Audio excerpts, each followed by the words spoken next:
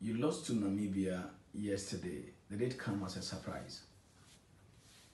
Um, not actually. Um, we went out there with the intention to win.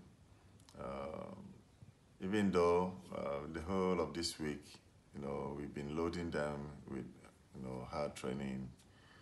So there was some heaviness, but the bottom line is we need to uh, get our final 23. So I had to allow other players to play, you know, to uh, make sure I make the right decision. You know. So um, Namibia, uh, they had one chance and they scored. Unfortunately, we created so many chances and uh, scored opportunities but could not score.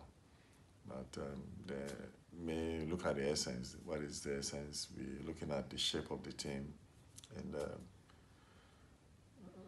where so that at least we can see where there are lapses or where there are loopholes that needs to be uh, corrected before the uh, before we go to Egypt.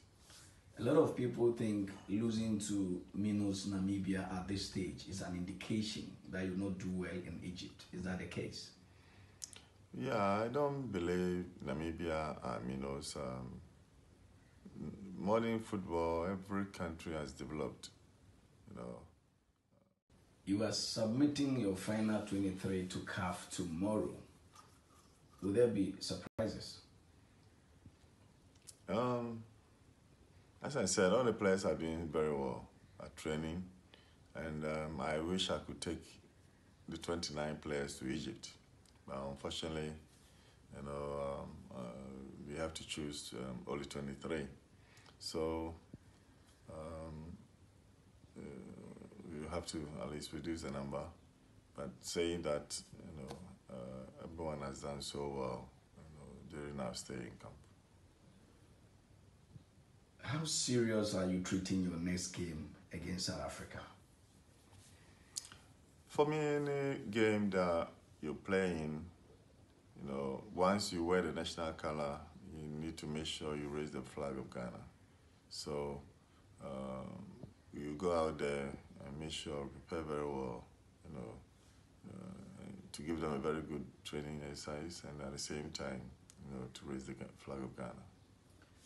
People think your team is fragmented owing to the captaincy issue at the last minute. Is that the case in camp? No, no. Um, the captaincy issue has got nothing to do with our, uh, our camping now. Uh, all the players are uh, behaving maturely.